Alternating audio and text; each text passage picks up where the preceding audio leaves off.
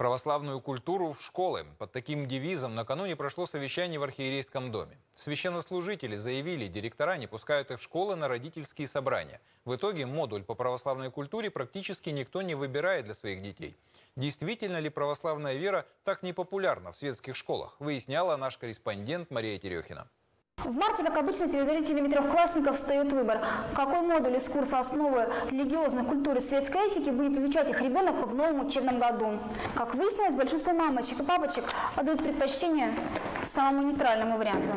В прошлом году модуль «Светская этика» выбрали больше половины родителей. Почти четверть проголосовали за мировую религиозную культуру. И только 18% захотели изучать на уроках основы православной культуры. Считают, что с ними можно познакомиться и на других уроках, а еще лучше – за пределами школы. Думаю, что это для воскресных школ, а образование у нас все-таки светское. Представители церкви в недоумении предполагают, что педагоги и родители неправильно понимают содержание курса. Там нет никакой пропаганды, только история и основа веры. И настаивают, что преподавать должны не священники, а обязательно светские, обычные школьные учителя. А прийти и объяснить это у священнослужителей не получается. Мол, на школьные собрания их не пускают. В некоторых школах э, края, э, когда наши ответственные на местах обратились, им был ответ дан, что собрания уже прошли.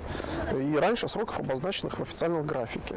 Это раз проблема. И вторая проблема, э, связанная с настроем э, некоторых директоров и с их незнанием все-таки э, детально курса, не совсем представляют, что это за курс. Предмет с аббревиатурой ОПК появился в школьном расписании два с половиной года назад. Директора говорят, что ничего никому не навязывают. Родители сами выбирают, что считают нужным. В управлении образования поясняют, преподавать предмет может каждый педагог, окончивший специальные курсы. Ведут у нас в школе эти учебные модули, ну, педагоги начальной школы, которые проучены, в ряде школ учителя истории, обществознания, есть а, педагоги, учителя литературы, МХК.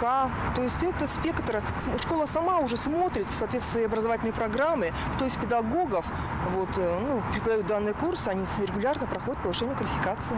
А значительная часть родителей считает, что этот предмет необходим, даже атеистам. Я считаю, что дети должны знать культуру православную или кто, кому какую нужно. Это неплохо, это никакая не секта, ни что. Это просто, чтобы люди немножечко, дети, ну как сказать, были милосерднее, наверное. Тем временем в Красноярской епархии на специальном совещании накануне уже составили план по улучшению преподавания православной культуры в школах. В одном из пунктов продлить родительские собрания до конца марта, чтобы священники наверняка успели побеседовать с родителями. Управление образования обещали пойти навстречу. Мария Терехина, Александр Шевелев, Дмитрий Комаров, Седьмой канал, Новости.